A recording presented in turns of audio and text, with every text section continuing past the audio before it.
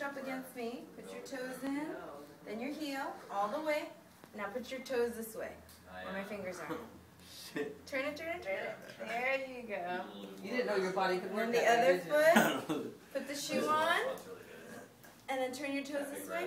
And now just relax your hips down. See, that's it. You're right.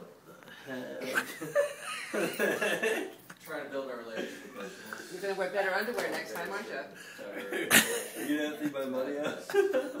Yeah, Tom's money falls out all the time. So just relax, relax. Just relax. Relax your arms down. Well, have a good day. It's good to see you. Just you. hang out for a second. Peace out, yeah. So all that, all that uh, tightness you're feeling in your lower back and probably in your hips because of upstairs or whatever, Wednesday. Wednesday's the day. good. It's gonna relax it. So don't shake. I'm gonna shake you, so you just relax. What do you think, Kris? Dude, no. Dude, that's what he thinks. Dude, isn't that amazing? Isn't that fun?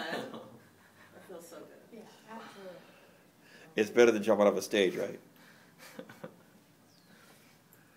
Good. Oh my God.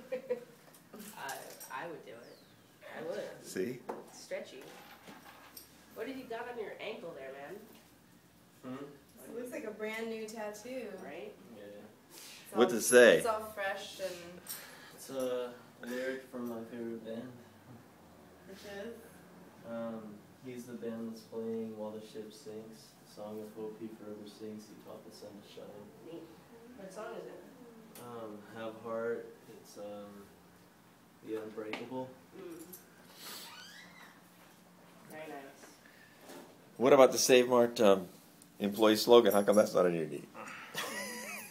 I hate that place. You Man. can sign and go upstairs. I set you guys up already. Okay. All right, Kris. Okay, Signing the off. Bible.